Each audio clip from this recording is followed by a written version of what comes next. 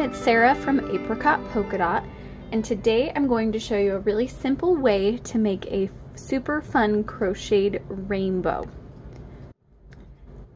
To get started, you just need a few supplies. You'll need six colors of yarn for your rainbow. Now of course if you want to make this a little bit smaller and only make three arcs of your rainbow, three colors would be fine. If you want to make it larger, you will just need as many colors as you want to have arcs on your rainbow. You'll also need a pair of scissors, a crochet hook that matches the size of your yarn, so I'm using a 5.5 millimeter, and then a yarn needle that will help you just stitch in your ends at the very, very end of making our rainbow. So let's get started. All right, to get started on these rainbows, I'm actually even just using up a little bit of yarn. This is a great scrap buster project because you can use up small amounts of yarn to just make the most colorful fun rainbows using yarn you already have. So to get started, we're just gonna get on our hook here. So I'm gonna just start that like I normally would any crochet project. And then we're going to chain four, two, three, four. Now we're gonna make a magic circle where we're gonna go into that very first chain that we put on our hook and we're just gonna do a slip stitch through to make our little magic circle. So now you can see in the center that's where our little circle is and you can kind of tighten it up but that's what we're to be stitching directly into the center of this circle. Now if you have looked at my website at all you'll see that for this year I like to make temperature blankets, cro crocheted temperature blankets each year. This year I'm actually doing a temperature blanket where the high temperature of each day is a circle in the center of a square. And the high temperature is the circle, the low temperature is the square around. And actually, that blanket is starting exactly as these rainbows start. And so it's really, I'm kind of doing a lot of circles this year. But this is exactly how that pattern starts as well. So now that we have our magic circle, we're going to chain three. Okay. And this is my new hook and I'm not quite, there we go. Okay, so now we have chain three and we are going to continue to go into this, this center circle 11 times so that we have a total, this is gonna count as our first double crochet, this chain three. And then we're going to end up with a total of 12 double crochets with this counting as one. So I'm going to go ahead and do 12, 11 additional double crochets into that center circle. So there's one, so now we have two, but see how I'm going directly into the center of where I made that chain four at the beginning and turned it into a circle. So I'm going to continue to do this until I have 12 total, counting this chain three, around my center circle.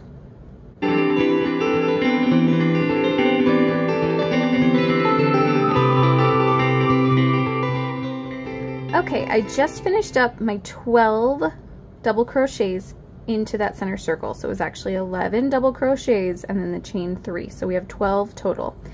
And now I'm going to go in to the, the third stitch. So one, two, three, the third chain that we started with to end this circle, close it off so that we can start a new color. So I just go through that first chain and we're gonna slip stitch. We just pull our yarn all the way through to make a complete circle. And now we can actually trim this yarn, pull our yarn through, tie that off. The nice thing about these rainbows is the fact that they all, they're all gonna be worked in a circle and then we're actually going to fold them in half and turn them into a rainbow. And so I always still have a tendency to weave in my ends because it's just out of habit because I prefer to weave them in as I'm stitching than have to go back and stitch them in at the end. But because we're actually going to be folding this in half, it is up to you if you want to stitch them in at all or if you just leave them they'll end up, if you just make sure they end up on the back side, they'll just get folded inside our circle at the end anyway. I will still be stitching these in a little bit just because they kind of bug me and they get in the way. So now we are ready to start our second round. We have our first round ready to go and let's start our second. Now we are ready to start our second round on our rainbow. And for this one, I'm going to use this cute yellow color. And what we're going to be doing this round is we're going to be building up our rainbow by actually doing two double crochets into every stitch from the previous round, which will give us a total of 24 stitches at the end. So the first row had 12, and now we're going to end up with 24 stitches. So we're doubling the size of our rainbow in this round. So for this one, we're just going to insert our hook into the first stitch. So you can see that I've got that completely into the first stitch on our rainbow. And then we're just going to pull our yarn through, if I can get that with this. There we go. And we're just gonna start with that. So we're gonna begin with chain three, just like we did, and this is actually how like every round starts with exception to the very last row. So we chain three, that's gonna count as our first double crochet. I'm going to grab some of these yarn strands in the back just to kind of hold them so that they get stitched in. Then we're going to put one more double crochet into this same stitch that we just did our chain three. Finish that up. Don't mind all my ends. All right, so there now we have two. It's going to count as two double crochets into that first stitch. And then we are going to continue to do this all the way around our rainbow, two double crochets into every stitch. So I'm gonna continue. Now this is a little tricky when you see your knot from the previous round where you tied off your string and started.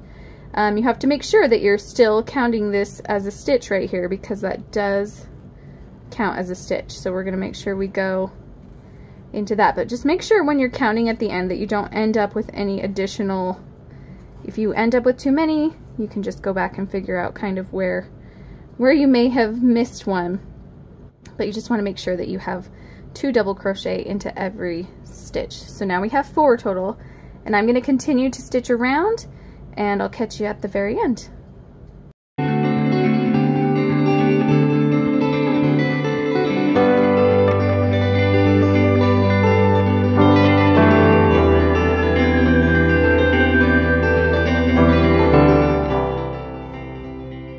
So we are almost done with this second row. Um, I'm just going to double check and make sure that we have 24 stitches. So 1, 2, 3, 4, 5, 6, 7, 8, 9, 10, 11, 12, 13, 14, 15, 16, 17, 18, 19, 20, 21, 22, 23, 24. Perfect. So you want to make sure you end up with 24 stitches, 24 double crochets in that round. And now we're going to do the same thing that we did with the first round where we're going to count up to the third chain from that first chain three. We're going to get our, put our crochet hook through and we're going to just slip stitch, pull it all the way through. We can fasten this off now, pull our yarn through, and we are done with round two. And now we're ready to begin round three. For round three, I'm going to use this cute turquoise yarn. And this round, we are also adding on to our rainbow by adding a few more stitches each time. But this time, instead of doing a double crochet in every stitch, we're gonna do a double cro crochet in one stitch, and then in the next stitch, we're just going to do, or we're gonna do two double crochets into one stitch, then one double crochet in the next, then two double crochets into the next stitch, one in the next. So we're, we're not doubling as much as we did in the first round, but we are going to just continue to add a little bit um, without making it so it folds in on itself.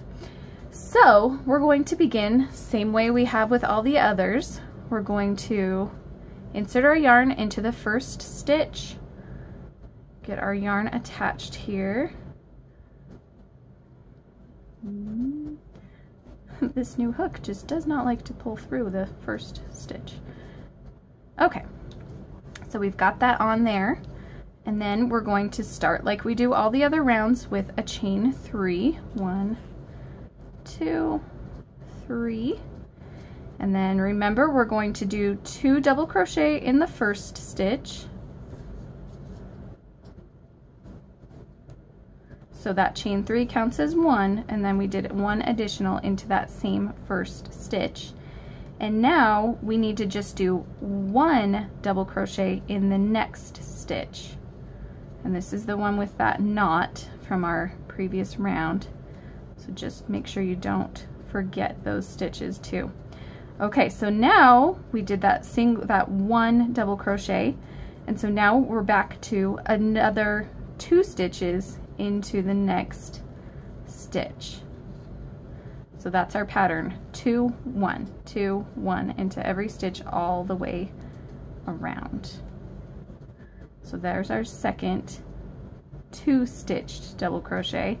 Now we just want one double crochet. Okay, and now we're gonna just continue to do that all the way around this round.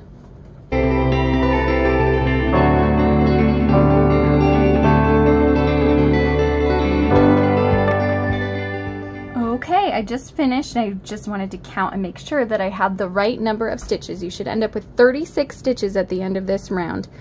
So basically every round is going to increase by 12 stitches. So now we have 36 and then we're gonna fasten off this color same way we have the other ones where we're just going to grab our yarn and then cut, pull our yarn through, and now we have finished round three. So we are halfway done, except the other rounds do get a little larger, but we're halfway done at this point. So now we can move on to the next color.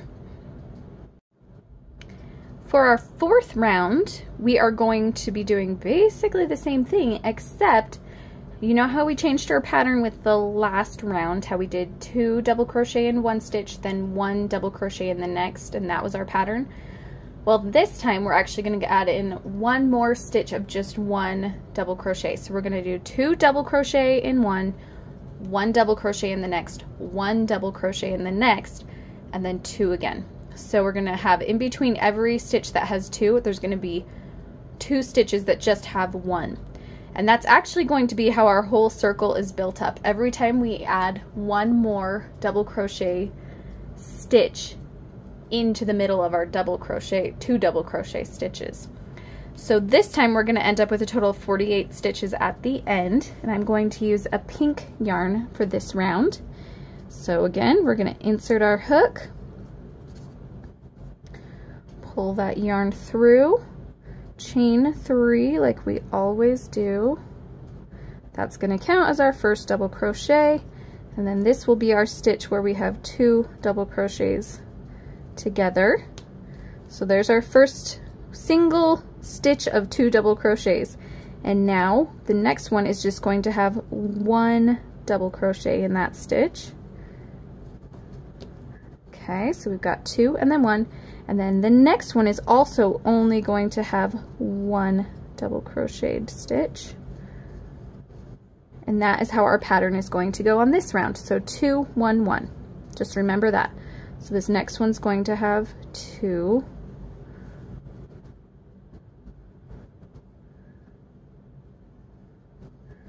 And then we go back to our one again. One,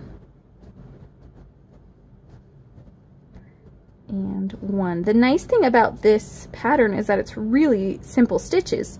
I mean, as long as you know how to do a double crochet, a single crochet, I mean, chain, you're pretty much, that's it. That's all there is, um, which makes it really nice and really easy to do. So I'm going to continue this pattern all the way around, and I'll check back at the end.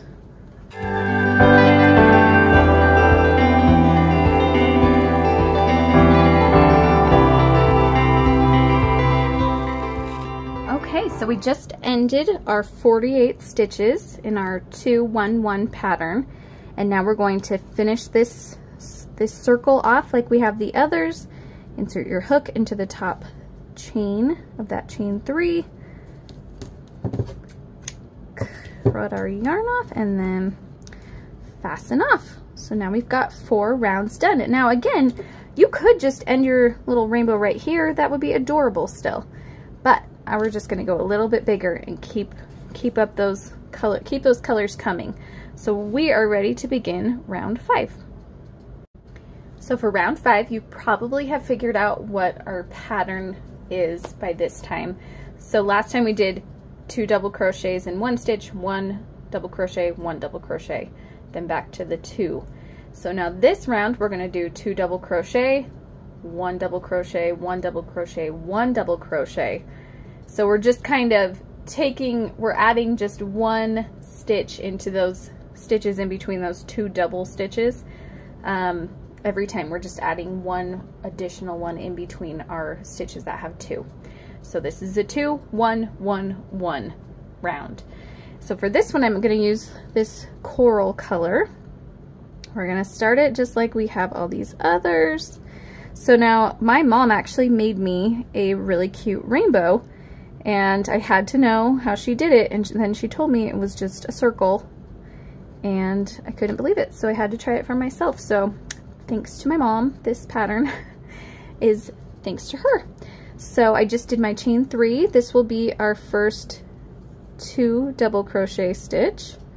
And now remember following that one we're going to end up with three double crochets all individually in the next three. Oops I'm gonna lose my my stitch. There we go. In the next three stitches. So that was one two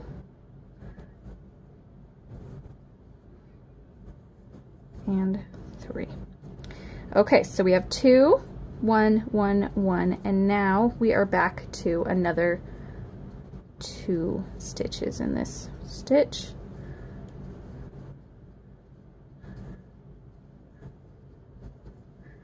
And then we're back to one the next, one in the next, and one in the next. So three total in the middle there. And if you're noticing, I am stitching in these ends right here a little bit. This whole part, the back half, is all going to be inside our rainbow anyway, so you will not see it. So if you don't like stitching in your, your ends, don't worry about it. They'll all end up in the center anyway. I just don't like to have them in the way, so I'm going to continue stitching them in, and I will continue to meet you at the end of this round.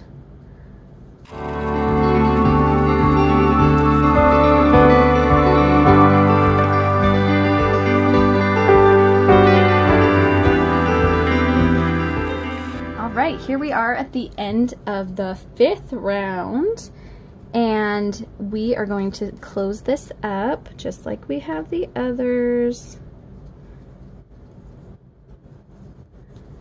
Trim that yarn.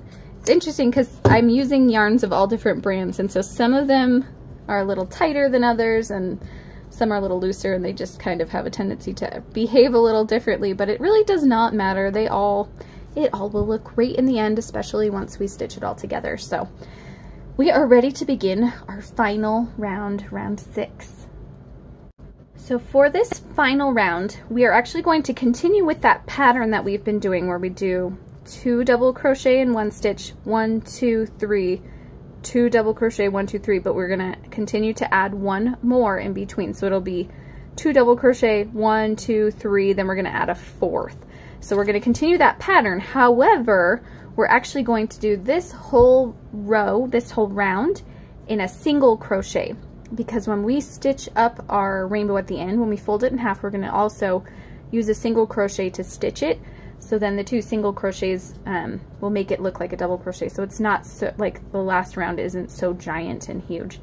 So we're going to get our yarn on just like we have with all of the other rounds. We're gonna, we're gonna actually just chain two this time because we're doing a single crochet. So we have that on here and then we're going to do just a single crochet in with that first two chain, which is gonna count as our first single crochet. And then in the next stitch, we're going to do another single crochet, but this is just one in that stitch. Then we're gonna do one in the next, one in the next, so that's three and four. So we have two single crochet, one single crochet, one single crochet, one single crochet, one single crochet. So we ended up with two, one, one, one, one. So if you'll recall, our first round was just starting our circle. Second round had a double crochet in every stitch. The third round had a double crochet and then one single one. The third, the fourth round had double crochet two individual ones. The next one was two, a double, two double crochet and then one, two, three. And then this final one is two single crochet and then four additional single crochet. And that's how we're going to do this entire round as well. So I'll do that real quick.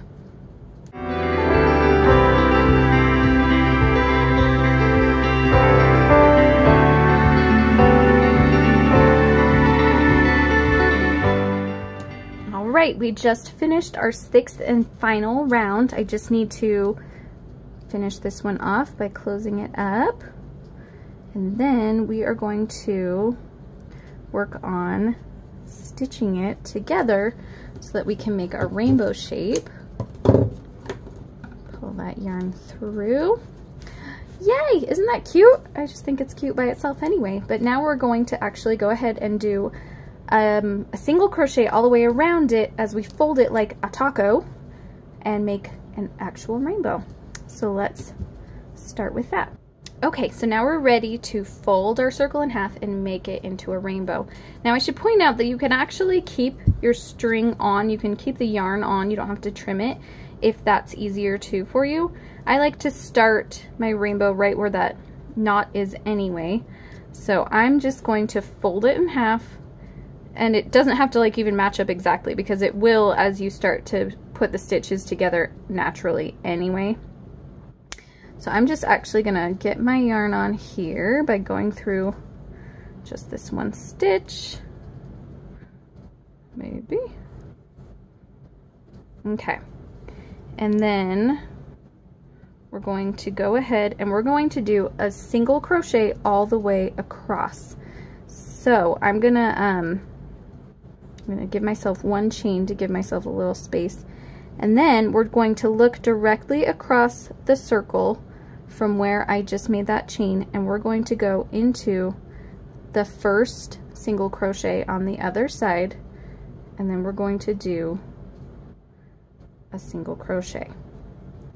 And now we're going to continue that into the next stitch. So you're going to go through both halves. So here's the half on one here's the single here's the single crochet on this half.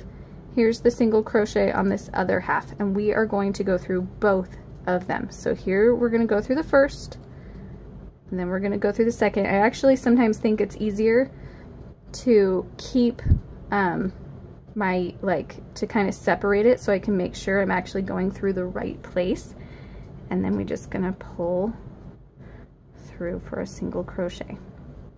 Just like that so we're gonna continue to do that. I'm gonna go and stitch it across, all the way across, and then we'll meet back in a second.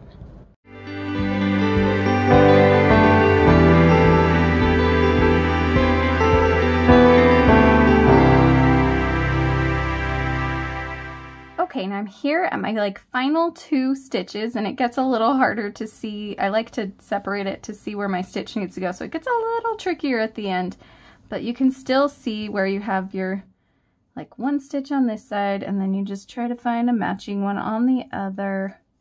And again, it all works out. It always just looks cute regardless. And then this is going to be our final stitch. And that is how our rainbow is going to look. Now we're going to just trim the end of our yarn and this is where you need your yarn needle. Um, you might want to tie just a little knot, even though that probably won't hold a lot, but we're going to end up stitching the ends in anyway. And I just like to sort of go, go like into some of these stitches, just kind of like this, just to make sure it kind of keeps its place there. And we just kind of weave, weave it through just don't want it to come out. And actually when you start this round as well, you'll probably want to um, make sure it's really secure. I didn't really secure mine super well for this one because I know it's not it's not going to be in little hands. It's not going to be touched a lot, but if if you feel like yours is going to be maybe getting touched, you just want to make sure that you're re you've really secured your your end when you start this connecting row. So let's do let's do like one more little stitch through here, maybe pull that through. And then we'll just trim our end. Ta-da! And you have the cutest rainbow. I like want to make them in every color. As you can see, I have a little bit of an addiction with these now. I just can't stop. They're too fun. And they're really fun. They would be cute to attach to a gift. You can tie a little string or yarn to the top so that it can hang somewhere. Um, so many possibilities. They are just fun and so easy to make. And I think once you start making them, you're going to realize that you want to make a million in a million different colors. But I hope you enjoyed it and I hope you have a whole little garden full of rainbows in your house pretty soon. Um, and if you want to find more tutorials and more fun crafty goodness, you can always check out my website at apricotpolkadot.com.